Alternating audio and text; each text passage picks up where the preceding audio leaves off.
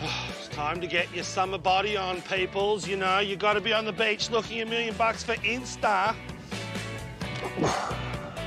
You can hit the gym, do all the weights you like, get your salad body on, or even fake your tan. I haven't done it for the last 45 years. I'm not going to start now. But there are a ton of things you can do in the garden to get your garden's body on for summer. So let's do something that's actually going to make a difference.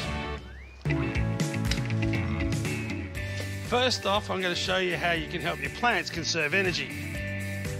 Mother Nature's smart, sends all the energy to the seed pod so they can procreate.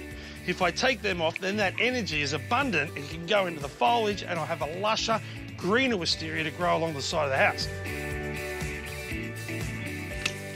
Now this is a little viburnum hedge that I've neglected. In January and February, we're busy having fun. The new growth gets smashed. So a way to make it tougher to survive that is to take off the newest growth. And you don't have to compost it or throw it in your bin. That there could be a new plant. Now for my top turf tip. On my left, your right, I've mowed it every four or five days without a catcher, so it's nice and easy. Just take it off a tiny little bit. And on this side, I've let it grow for about three weeks. So when I mow it, it's gonna be hard work, pushing through it, emptying the catcher. You're chopping off the grass blade and you're exposing the stems, which means that there's more ground exposed and the weeds can come up because the lawn's gone through stress. So what's the tip? Mow more often and you'll have a better looking lawn.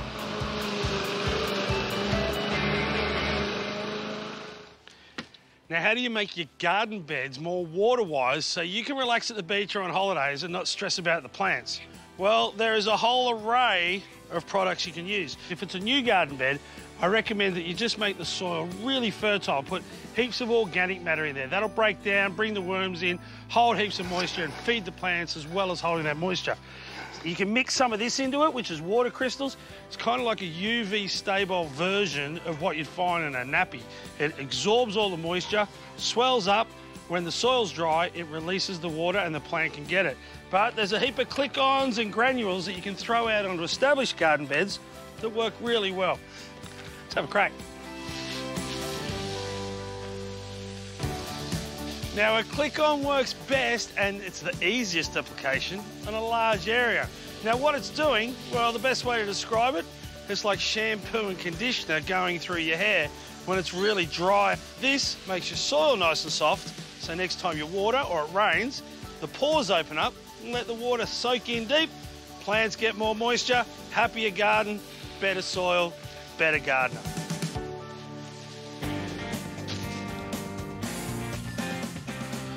Next level is using something like this. It's granular or crushed up, but it means you can concentrate on where you want to put it. With this, I can really make sure I get to the root zone. And one of the simplest ways to make your garden thrive over summer is to feed and mulch your plants. The smell of fertiliser in the morning. The reason why you feed your plants is because a happy, healthy plant that's getting plenty of moisture and plenty of goodness out of a fertiliser like this is going to be stronger from attack from pests and bugs and it's going to survive hot weather and dry conditions. Once I've hosed it off, I cover it with mulch. That covers the pong, keeps the fertiliser in contact with the soil and damp it longer.